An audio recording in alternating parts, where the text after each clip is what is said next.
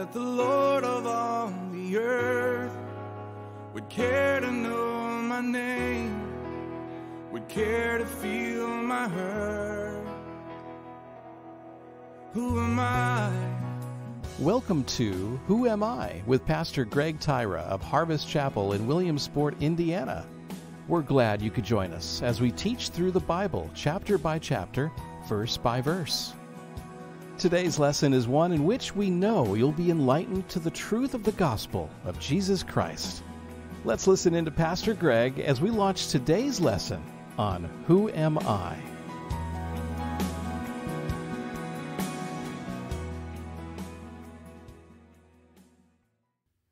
Turn in your Bible with me to John chapter 9. We're going to be beginning in verse 35 this morning.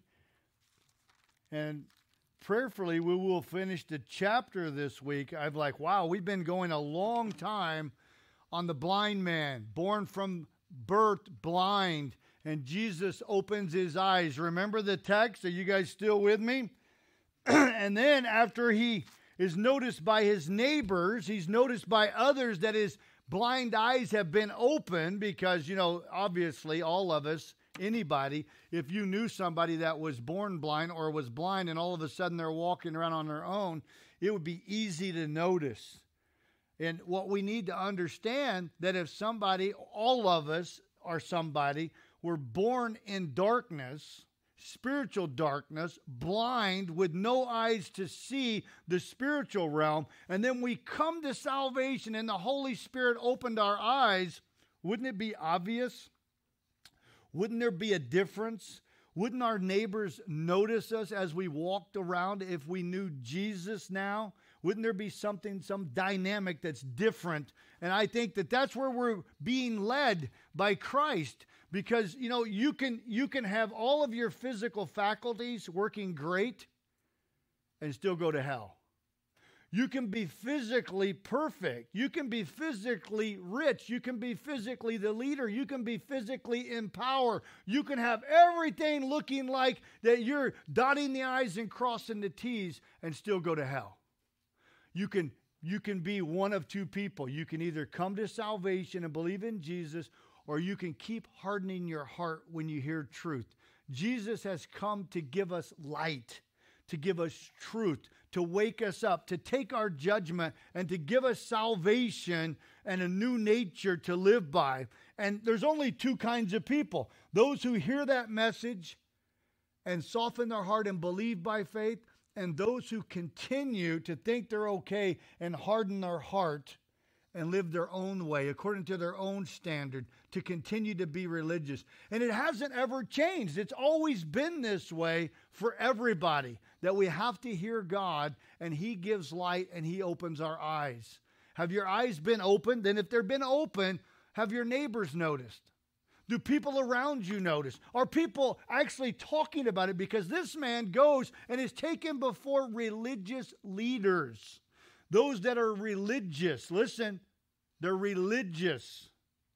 We're not saying they're saved, they're religious. We're not saying that they know God, they're religious. They have their own legalistic practices, and they tell him, since you don't do it our way, we're going to cast you out. They kick him out of the synagogue. And in that in this case it means it means more than that because everything about the Jewish citizen was traced all the way back to Adam and Eve. Their, their entire lineage is traced back. You lose everything if you lose your position in the synagogue and the religious leaders do not recognize you. you become like a leper. You become like one who can't do anything in society. You're going to have no doors open to you.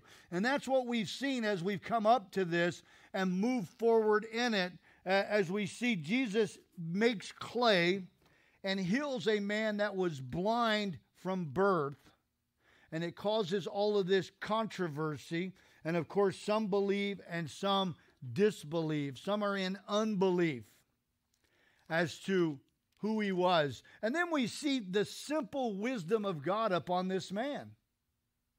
We see the simple wisdom of God, not the complicated religion of man, but the simple wisdom of God when this man says, excuse me, in verse 31, eh, 931, now we know that God does not hear sinners, but if anyone is a worshiper of God and does his will, he hears him.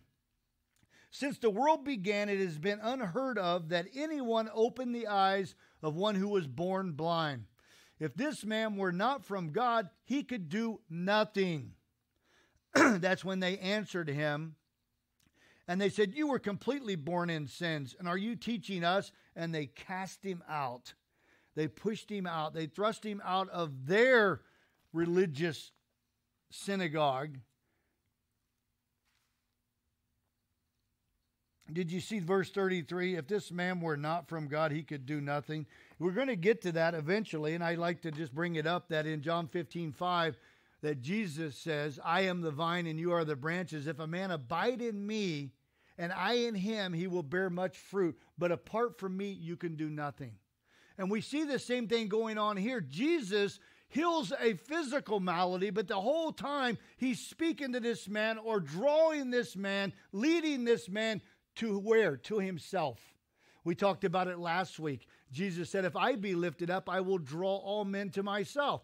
And then we've seen that Judas actually lifted up his heel against Christ. And so that again, two two roads, two places. Either you and I are going to come to salvation and be led to Christ and lift up Christ, or we're going to keep lifting up our heel against him. And so we see I like I like that chapter 10 as we move forward, we're seeing that Jesus is leading this man to himself. Chapter 10 is going to be about the good shepherd and that nobody can come in unless they come in through the door through Christ. So he's leading him right to himself.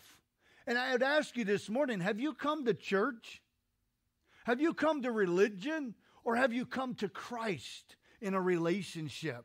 Are you coming to a relationship where you can hear his voice? You can articulate what he's saying. You're coming to know him personally in a marriage relationship, and you're beginning to follow him and obey him and be conformed to his image and do the things that he's doing, which again is all you're going to ever hear from me is the reconciliation of souls. That's why Jesus is here. That's why he died. That's why he rose again. That's why he came, is to bring light, but truth, to wake us up in our darkness from our sleep, and to save souls. All of that goes together because when you really think about it, the darkness is blindness. You ever try to get up in the dark? We talked about this. I, I, you get up and you hit your toe on the corner of the bed. But when you have light, you can see clearly what is going on. And this is the light of the world that has come to wake us up from our darkness, to wake us up from our sleep, to, to rouse us from that sleep and religious people will say, Well, you're in sin. You don't have anything to say. But I will tell you that the whole body of Christ has something to say. All of us are called to be witnesses. In fact, in Acts 1 8, he says, When the Holy Spirit comes upon you, you shall receive power when the Holy Spirit comes upon you to be witnesses for me throughout Jerusalem and all Judea and Samaria and to the uttermost parts of the earth. That's not one person. That's everybody in the body of Christ. When the Spirit comes in and gives you light, when the Spirit comes in and removes your spiritual blind eyes, because it's not about our physical eyes, it's about the spiritual eyes. If you die without spiritual eyes to see, you're going to go to hell. You're going to remain in outer darkness for eternity. But when your eyes are open, we come to life. We come to Christ. We come to truth. We come to follow the light of the world. And He is the door. He's the way out of this world and the way into heaven. There is no other way, just as the scriptures proclaim. There's no other name by which men can be saved but the name of Christ Jesus. And name is always your authority, your character, your nature, your will. Every road leads right back to Jesus if we believe in Christ. Have your eyes been open? Have you come to Him? If not, then ask the Holy Spirit. Ask the Holy Spirit to open your blind eyes because this book is spiritually discerned. The kingdom of God is spiritually discerned. It's not about the physical because you're going to see in the physical things that you want to emotionally be charged and deal with, but God in His Spirit will say, No, don't do that. And you have to be listening to the Spirit of God in order to be a child of God because it says in Romans 8 14, you guys know this verse yet? As many as are led by the Spirit of God, these are the children of God. Listen to me. We don't want to be led by sight. So even though our eyes are open, our physical eyes are open, we can't see spiritual with these eyes. We have to see it with our heart. We have to see it by being led by the truth, by the Spirit of God, by what He's telling us to do, because our own physical eyes will lie to us. Our own physical eyes will lead us in a ditch if we're not applying truth, if we're not allowing the Spirit to lead us.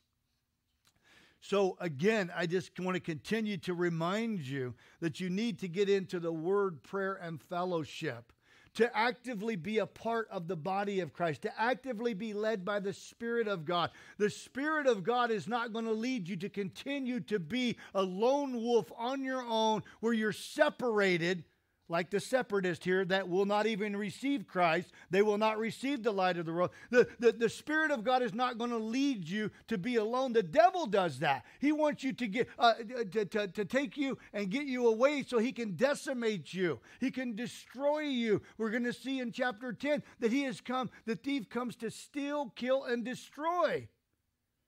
But the good shepherd comes and lays his life down for the sheep. And if your eyes are open, we can't keep doing what we've always done. Your life radically changes. Listen, salvation radically changes a life because now you're no longer stumbling around into the darkness, bumping your toes on beds. You're no longer stumbling around in darkness, wondering what it's all about, wondering what life is about, wondering what I should be doing. I wonder if I could find excitement or fun or, or fulfillment in this or that or this. And then you know when your eyes come open that you were born for what Christ has for you. And you give up everything that's in the world. And in fact, you become spiritually, or excuse me, physically blind because now we walk by faith, following the author and the finisher of our faith. So no matter what we see, we still follow truth. No matter what you see with your physical eyes, you're still following truth. It doesn't matter.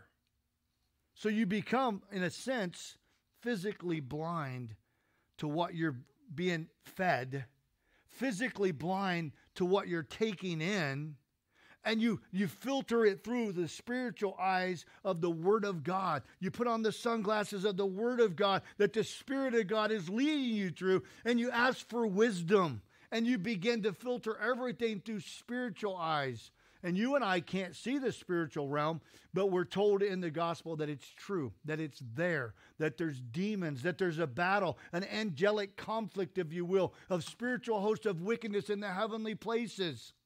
And so we know that it's going on. We can see the results of it in life, in lawlessness, in certain parts of town, and in cities, in places. You can see the, the, the, the spiritual realm being given full control of a life. Or you can keep following physical eyes and living in a physical way and ignoring what God has to say.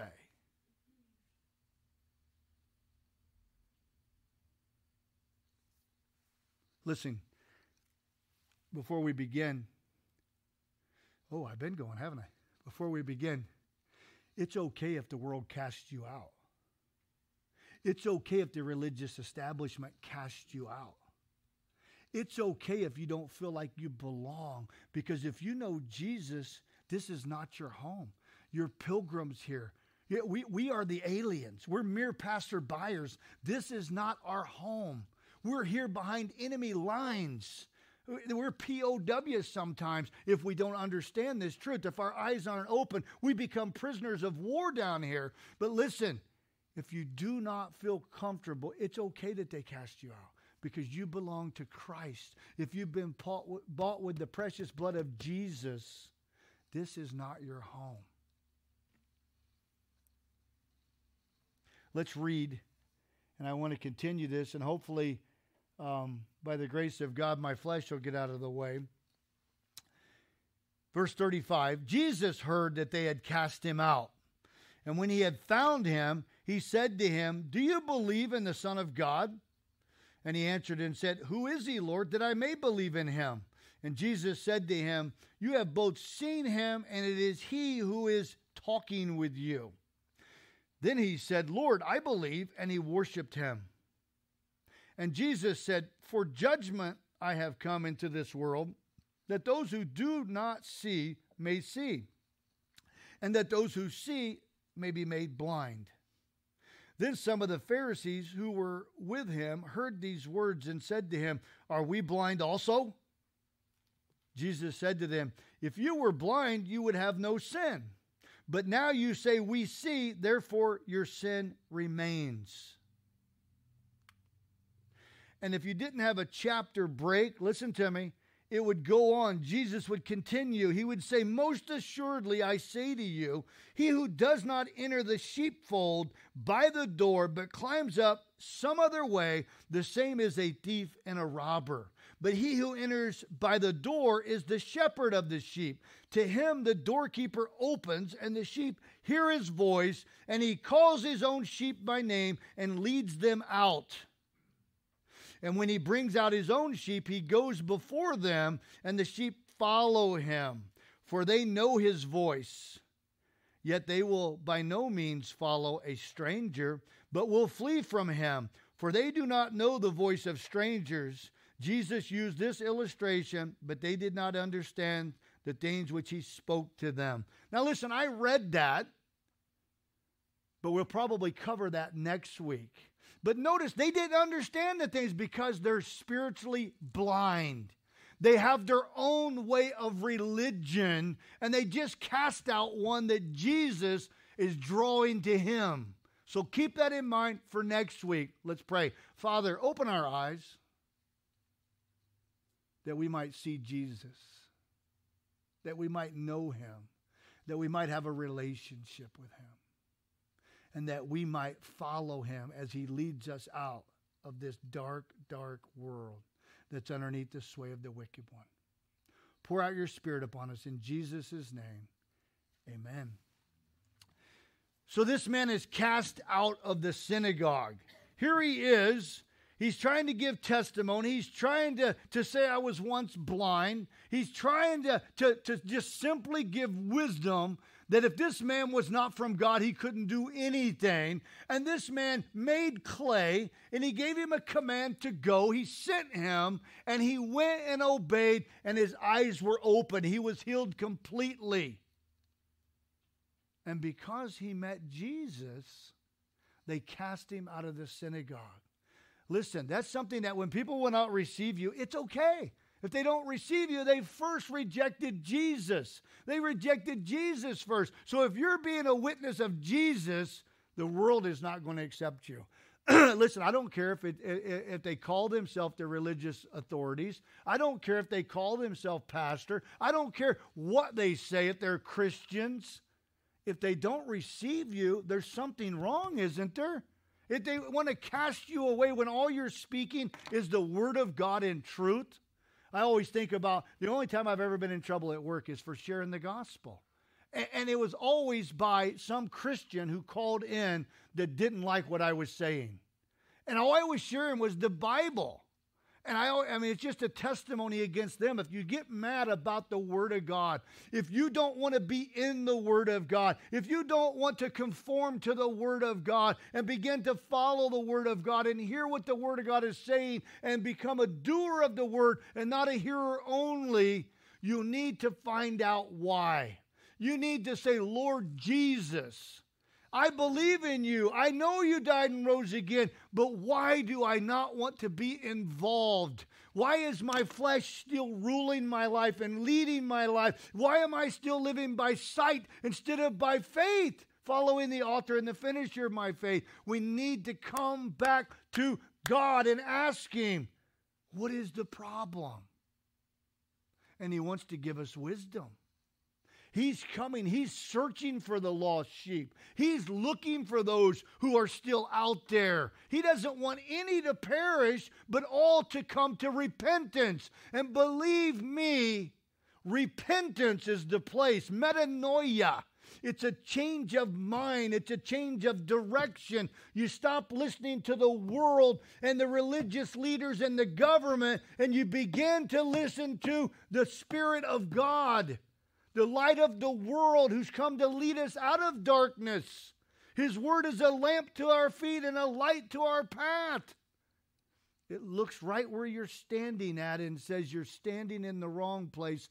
Follow me because I love you and I died for you. And then you begin to follow him. No matter what you think you see with your eyes, no matter what you think you already know, everything that you think you know is suspect, especially if it doesn't line up with the truth of the Word of God. No matter how clearly you see thousands or millions of other people following some truth, it's a lie if it doesn't line up with the Word of God. Truth is a person and truth has came to save us. And we need to wake up to this. We really do. Because, see, the entire nation of Israel is blind. I'm not going to go there. You can read chapter 11 of Romans. They're blind in part because of us, the age of the Gentiles. They were blinded in the other part because of their own reaping they continued to sow and do their own thing and follow their own system and make up their own religion and ignore God, and they became apostate. And God let them have what they were seeking after. But He hasn't forgotten them, He hasn't given up on them. Just as He grafted you and I as a wild olive branch into the root, He can graft them back in but they're blind in part. What? They're, they're spiritually blind. Because that's what's most important, because we're spirits, remember? We're spirits in a body. Whether I can see with my physical eyes does not matter. My maladies do not matter. But what happens in the world? What happens in the flesh? What happens in our fight? What happens in this trial in the wilderness as we harden our heart? Everything that we do, we get our eyes fixed on the physical, the carnal. And God is saying, stop. Get your eyes fixed on the spiritual. Open your spiritual eyes. You're being you're blinding yourself on purpose spiritually, even though I've opened your eyes.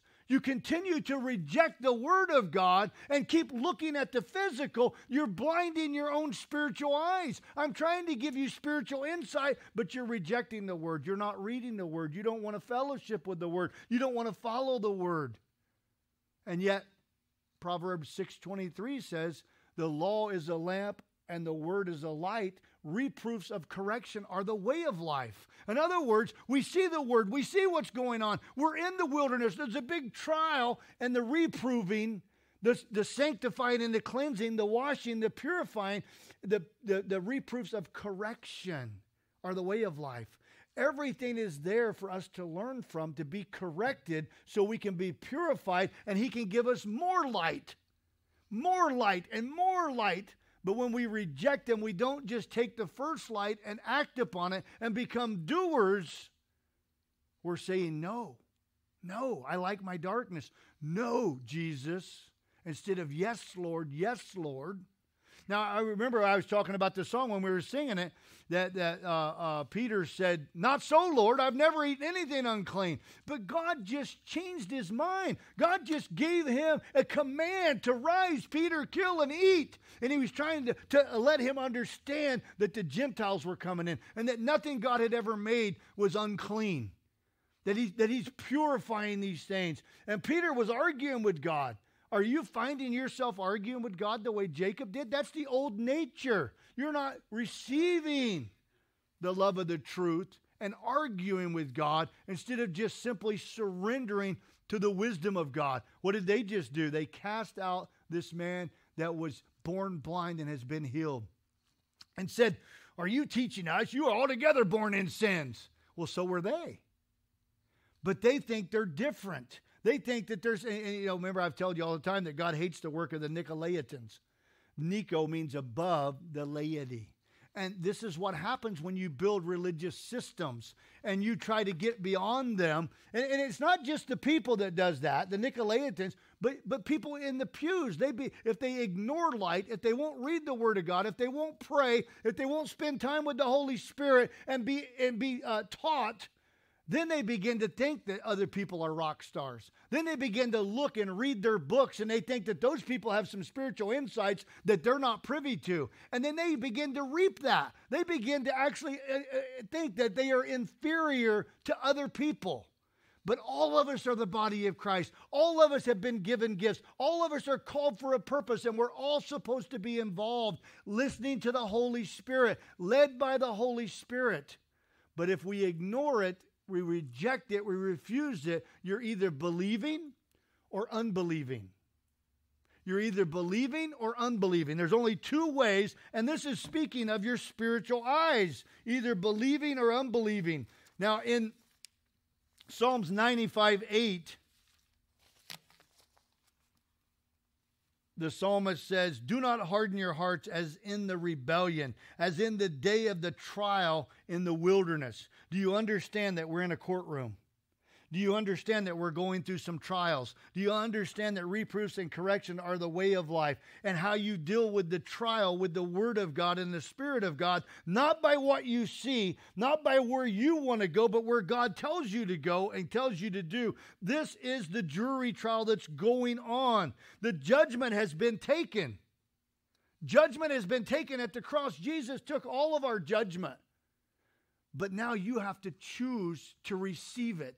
You have to choose to, to follow His Word, to be led by His Word, to be led by His Spirit, to walk in the light as He is in the light. And then we have fellowship with one another, the one another ministry. But when we go out and we just do our own thing and we get isolated, then the devil begins to decimate us, and then we begin to reap what we're sowing. We go out and we, we, we, we disband and we go, nah, I'm going to just go do what I want to do and we don't become part of the body. We don't become part of what's going on. Now, listen, it's always going to happen. The sheep and the goat live together. Jesus talks about this a lot. The, the wheat and the tare, they're together. And I love the wheat and the tare because wheat and tares look just alike. They look just alike. They look just like this. But as you begin to receive the light of the Word of God and you begin to let the light water you and cleanse you, and the Word begins to grow, you know what happens with real real wheat, it grows fruit. And then the head gets heavy and it begins to humble itself. A tare will keep looking just like it always looked because there's nothing in it. And it stays proud and it stays stood up and it doesn't humble itself because the more fruit you grow, the more light you get, the more the Holy Spirit washes and cleanses you, the more fruit you'll grow for the harvest and you'll bow down and you'll want more and you'll go, The more I grow, I don't even understand grace. I don't understand this, Lord, but I want to be led by you. I don't want to be led by my own eyes, my own strength, my own power, my own desires, because they will lead me back to hell. They will lead me back into a ditch. They will lead me into apostasy and to doing my own thing in my religious, pretentious, uh, pretending ways. And that's what's going on here and somebody who's meeting Jesus, being drawn to Jesus, his eyes have been opened by Jesus, he hasn't come to salvation yet. That's where God's bringing him. Listen, the religious people cast him out. They say, I'm not going to deal with you. I don't want to deal with you. We don't, you, are altogether born in sins, and we are very spiritual here. And this man healed on the Sabbath day, so he's not from God. Be careful what you say is not from God. When I read my Bible, they're always rejecting God. And they have an upside down view because they don't have spiritual eyes and they see things differently. But when you're led by the Spirit of God and the Word of God for the glory of God, it doesn't matter whether you're accepted. Because when you're cast out, what happens? Jesus comes and he gathers you up and he makes you his own. He's been waiting for you to say no to the world and yes to Him and to find out who He is. Look what it says Jesus heard. Now remember, we're talking about the physical because He is in a physical body at this time. And he has to move in a physical way, even though he's being taught by the Spirit, being led by the Spirit, Jesus himself. Jesus heard that they had cast him out and when he found him. So we see Jesus went looking for that lost sheep. Jesus went looking for him because he heard the world had cast him out. He heard the religious authority had cast him out. He heard that he was rejected by them. And that's where he comes. He comes to the back of the line to choose his sheep. At the lowest point, when you have nothing more to gain he found him and he said to him, This is what he says, and my sheep hear my voice, Jesus says. I know them and they follow me. Listen, he said to him, Do you believe in the Son of God? Messianic term, speaking of the Son of God who would come. Son of Man, some of the texts say, if you have the NIV or something. We're still speaking of the Messiah. And believe is the word pisteuo. It means, do you trust your spiritual well being into the Son of Man, into the Son of God? This is what he's saying to him. And here's his answer. It may be your answer because we know that back over in verse 12, he said, I do not know. Where is he? I do not know. Now, the first time this man is actually laying physical eyes upon Jesus. He's seeing him for the first time, the one that opened his eyes. And he says, Do you believe in the Son of Man? Do you believe in the Son of God? 36, he answered and said to him, Who is he? Lord.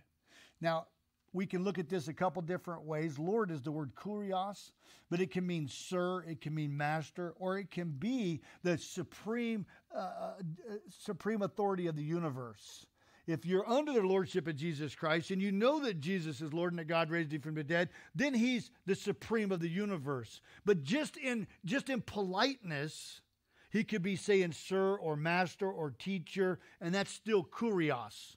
So we don't know. I believe he's being led to him. I don't believe he thinks yet that he is the supreme in authority, but I'm not sure. I'm just telling you that it could be used different ways. He says, though, have you ever said that? Who is he? Who is this God that would come to earth and take flesh in a virgin?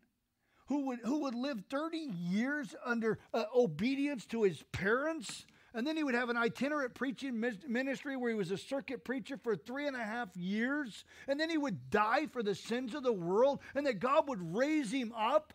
He would make all of these claims of what he was doing. He's the great I am. I am the light of the world. Who is this? That would die for us. What grace is this? What love is this? Have you ever asked who He is? Because that's what the Holy Spirit wants to reveal if you truly come to salvation. He wants you to grow in the grace and the knowledge of the Lord Jesus Christ. To, to be conformed into the image of the Lord Jesus Christ, into the image of God. And, this should be a growing, a, a daily walk with God to grow in the grace and the knowledge, not to continue to be conformed to this world, but to be transformed by the renewing of your mind. So you may prove what is that good and acceptable and perfect will of God. Because we're on trial, we're in a jury trial and, and the devil is the prosecutor. He's the he's the accuser of the brethren. But Jesus is our lay advocate. He's our lawyer, and he's come down, and not just to become our lawyer and to defend us, but he died for us because really, if the gavel come down, we were judged guilty because all are sinners. All have sinned and fall short of the glory of God. But he stands now and defends us, and he says, Father, they're mine. And listen to me we have everything we need for judgment. Who is he, Lord, that I may believe in him? See, he's, he's hungry. He wants to believe in him. Who is the Son of Man? The whole nation knows that the Messiah is coming. They're teaching it, they're preaching it. And he shows up, and here are these religious people that's made up their own system. They cast out a blind man who's been healed by somebody who did a perfect work that proved who he was. We'll get there in a minute. But look at just cl- click over a couple pages. We've done this. We're doing it again. It's chapter 12. It's chapter 12. I just want you to see. I'm just going to read one line, verse 48. He who rejects me, Jesus speaking, yours might be in red, and does not receive my words, has that which judges him.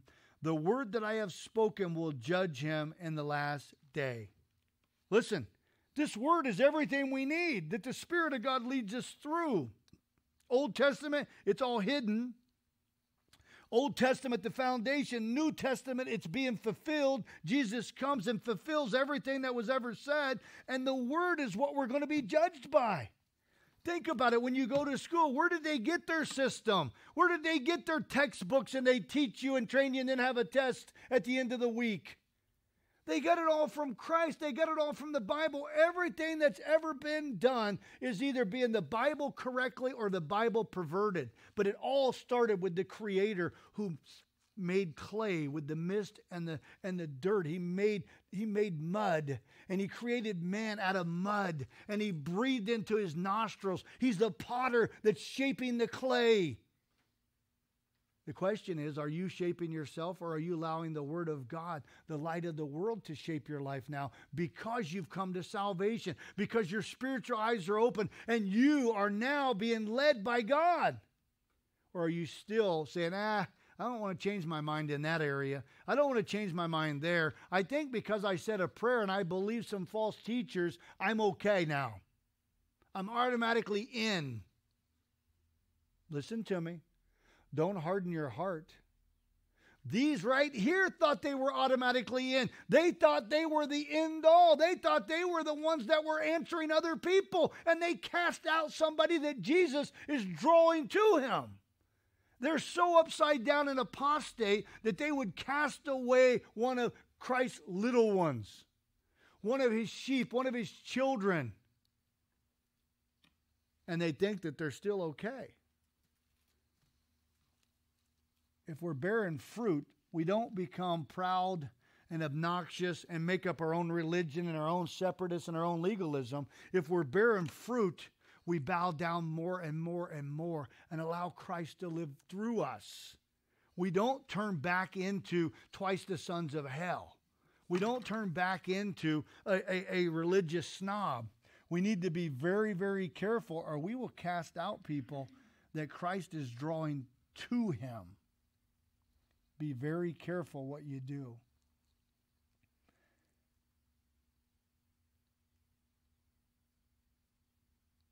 Who is he? Lord, that I may believe in him, that I may commit to him, that I may trust in him, that I may commit my spiritual well being to him.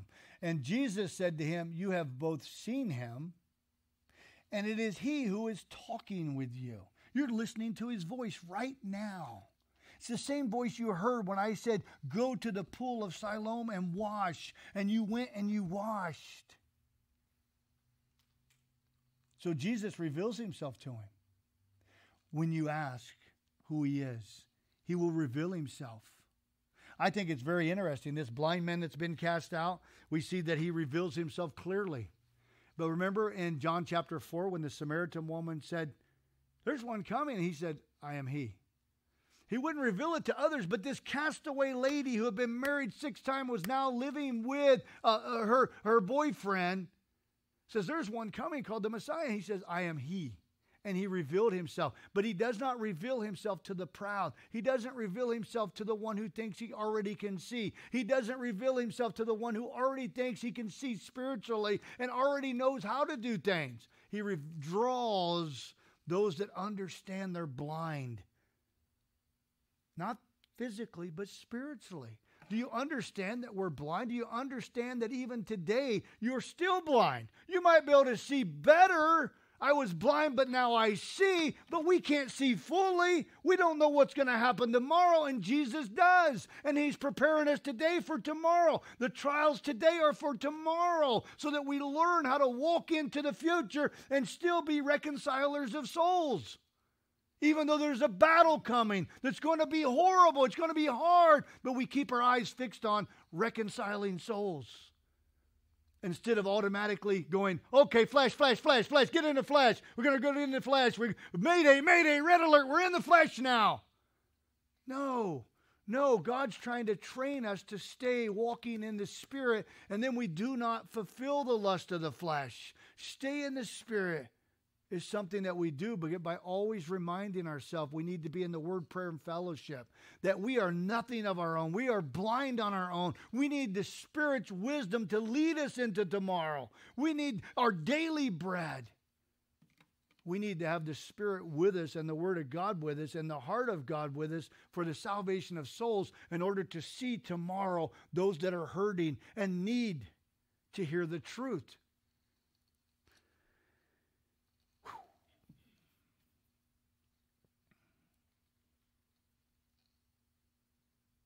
Anybody read Isaiah 29 last week?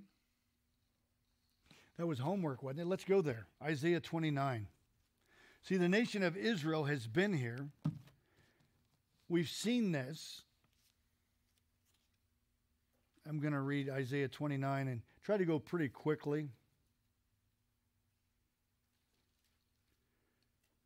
There's a woe pronounced to Ariel, which means lion of um, God, or Jerusalem is who it is. It's uh, the city where David dwelt. There's a, a woe, verse 29 1, and you move through it.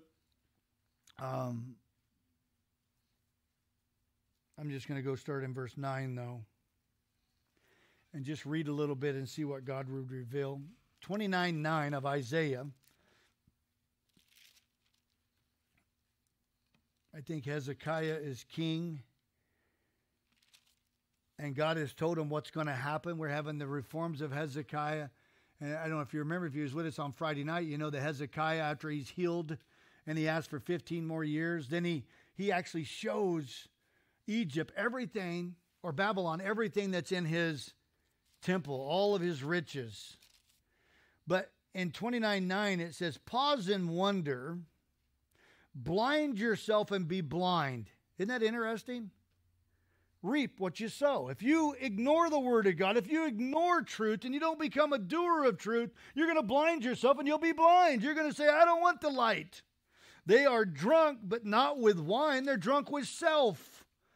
They stagger, but not with intoxicating drink. They're in delusion. They're not sober minded. This is the way, even though the reforms of Hezekiah are there, it's not personal revival. It's not personal relationship. It's a religious system that's being followed. For the Lord has poured out on you the spirit of deep sleep and has closed your eyes, namely the prophets, and he has covered your heads, namely the seers. This is the people that would speak to him, and all the false prophets and all the false seers and all the false things are going on. I didn't read verse 8. You can go back and read it later about dreaming, and that's all they're doing because it is deep sleep that God has put upon them. And you know, in the New Testament, in Ephesians 4, he says, Awake, you who sleep, rise from the dead, and Christ will give you light. And light means you open your blind eyes. He'll give you light because we're in darkness. And then He wakes us up and He shines His light, and then we begin to follow His light. The whole vision has become to you like the words of the book that is sealed, which men deliver to one who is literate, saying, Read this, please. And he says, I cannot, it is sealed. It means it's closed, it means it's marked, it means it stops and you can't read it because God sealed up the book. Then the book is delivered to different ones to one who is illiterate, saying, Read this, please. And he says, I am not literate. The word there is yada, yada. It's the word to know. I do not know. You ever been talking to somebody and you go yada yada? You know why they say yada yada? It's the Hebrew for to know. And so you say yada yada so you don't have to fill in the whole gap of what they already are supposed to know about what you're talking about. That's why you say yada yada. It means to know. It's Hebrew for to know. And he says, I don't know. He asks somebody who's illiterate because they don't know how to read. Therefore, the Lord said, 13, Inasmuch as these people draw near to me with their mouths and honor me with their lips, but have removed their hearts. See, it's the inside. It's not the outside, it's the inside that God's after. He's not wanting what you can see physically, He's wanting what you have spiritually. Your spiritual hearts, the middle of you. Their hearts are far from me, and they and their fear toward me is taught by the commandments of men. Now, listen, because Jesus quotes this in the New Testament. He quotes this very verse. Therefore, behold, I will again do a marvelous, a beautiful work. That's what the word was marvelous. Isn't it marvelous that you don't know who this man is? The blind guy says, and he's opened my eyes. Isn't that marvelous? Among this people, a marvelous work and a wonder for the wisdom of their wise men shall perish, and the understanding of their prudent men shall be hidden. Woe to those who seek deep to hide their counsel far from the Lord, and their works are in the dark. They say, Who sees us and who knows us? Surely you have things turned around. Shall the potter be esteemed as the clay? For shall the thing made say of him who made it, He did not make me? Or shall the thing formed say of him who formed it, he has no understanding? Listen to me, because it's speaking of the things going on today or the things that we're seeing in the text in John chapter 9 because the potter just made some clay and put it on a blind man's eyes and said, Go and wash. And when he obeyed, his blind eyes were open, and that was drawing him to him. And then he was able to have his spiritual eyes open. And these people, Hezekiah, who's doing reforms. Hezekiah is doing the reforms. And he blows it in the end of his life. And in, in that 15 years that God gave him, what did he do? He gave birth, not man gave birth, only a woman could give birth. The woman, his wife, gave birth to Manasseh, which means what? Manasseh means causing to forget right? Used in a good way when Joseph named his first child Manasseh, when he began to, to grow in Egypt, down when he was cast down there, because he was being prepared to deliver a whole nation.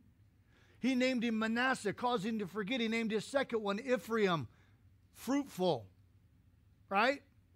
But here, Manasseh is they begin to forget the reforms of God, the ways of God, the counsel of God because the prophets are blinded. The seers can't help.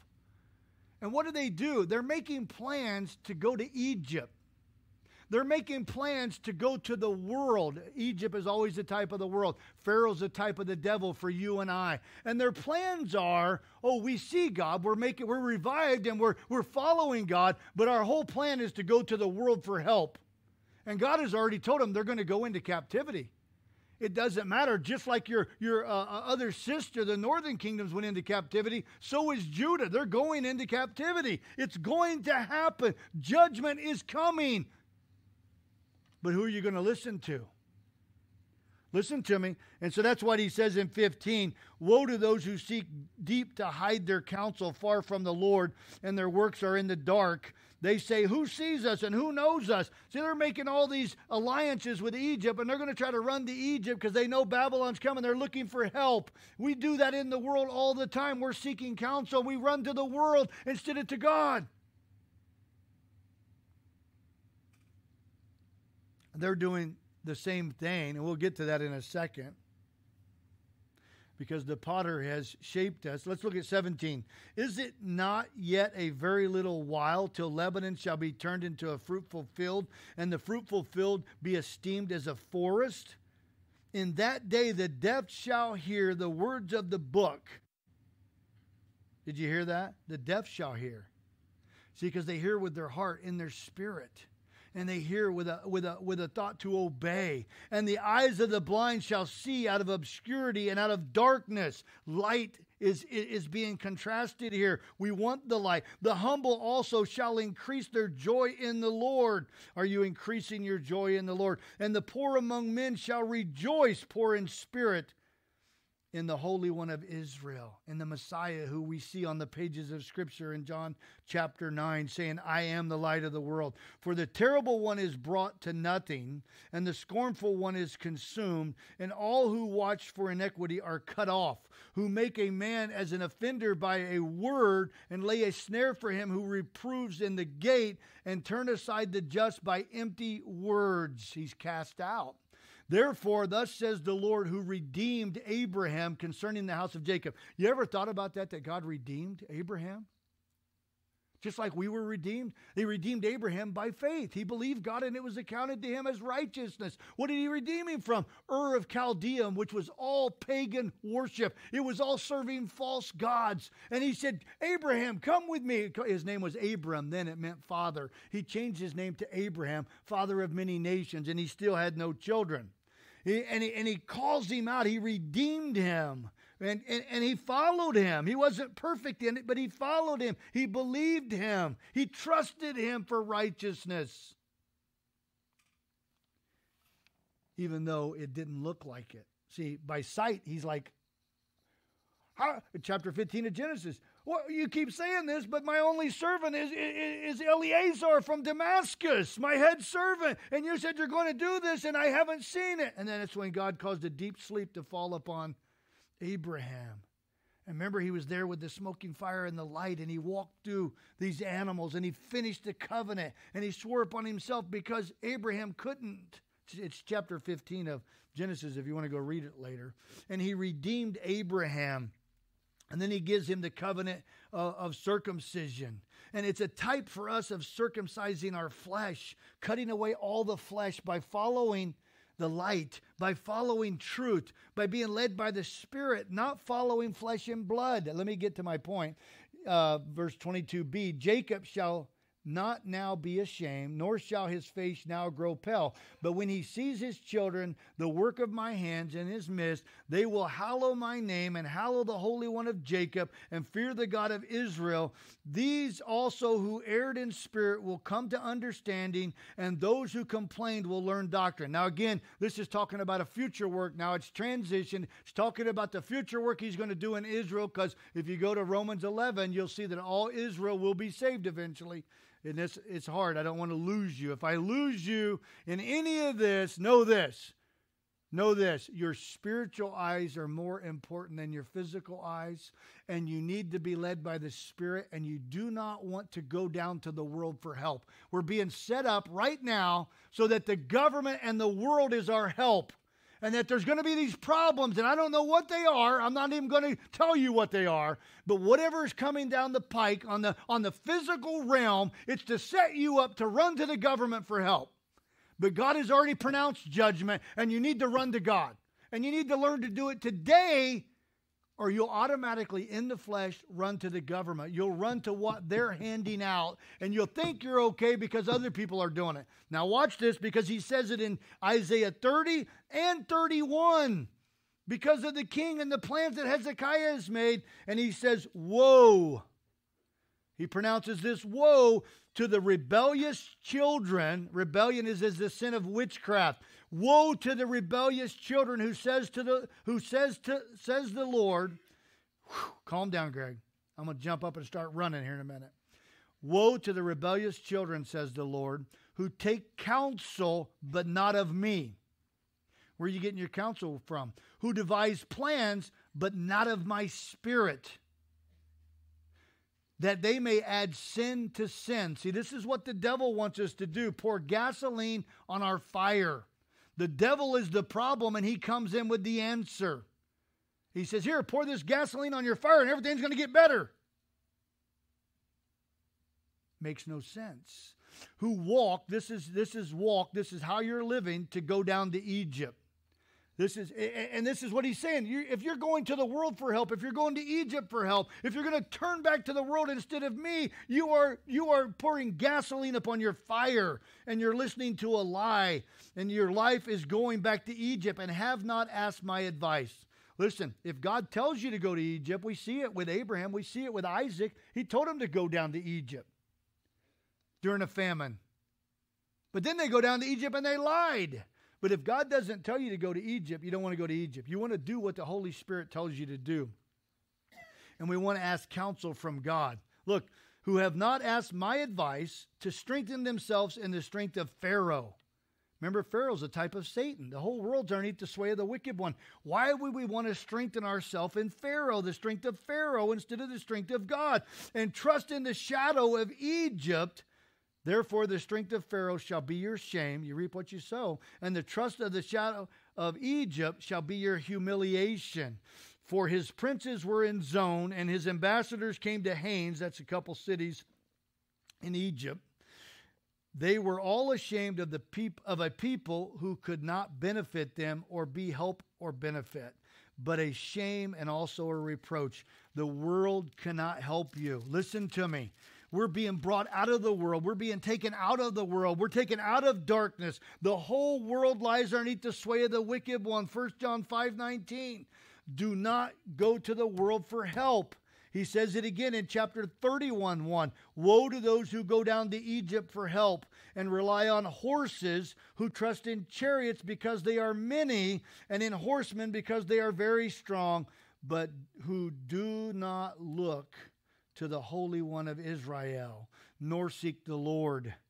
Yet he also is wise and will bring disaster and will not call back his words. Judgment is coming, but will arise against the house of evildoers and against the help of those who work iniquity. Now the Egyptians are men and not God, and their horses are flesh and not spirit.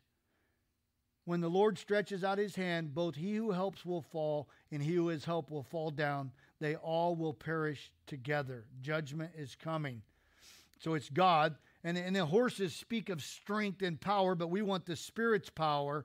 And then when we want to make sure that we're not doing it in our physicalness, uh, but according to my spirit, saith the Lord. Are you still blind? Listen to me. Are you still blind? Or are your eyes open to what God wants to do? Because we can go to church and say, I said a prayer, and the Holy Spirit come in, and we can reject the Word of God and say, yeah, but, or maybe. And, instead of following what the Word of God says, where the Spirit has given us power, the Spirit has given us might. Do not harden your heart as in the day of rebellion, in the day of trial in the wilderness. Psalms 95 8. You want New Testament? It's three times. It's in Hebrews 3 8, it's in Hebrews 3 15, it's in Hebrews 4 7. They would not obey and mix faith with the Word of God. It tells us in chapter 4. Go read Hebrews 3 and 4.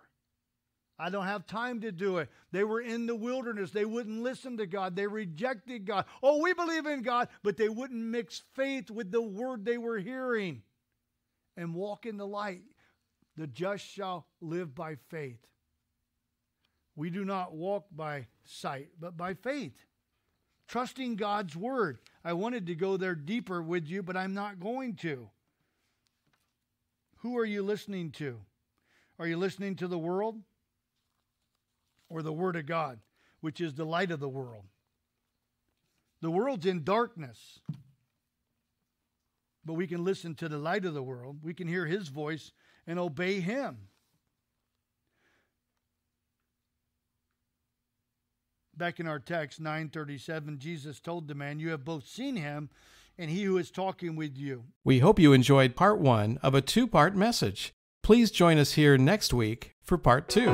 And that concludes today's message on Who Am I with Pastor Greg Tyra of Harvest Chapel in Williamsport, Indiana. If you're in the area, we would love to have you as our guest. Harvest Chapel is located at 418 Old State Road 28, Williamsport, Indiana 47993. We meet for worship on Sundays at 10 a.m. Our prayer meetings meet Wednesdays at 6:30 p.m. Our Bible study meets on Friday at 7 p.m. Today's and previous messages are available on CD if you would like a copy, please call 765 404 7203. We look forward to seeing you again next time on Who Am I?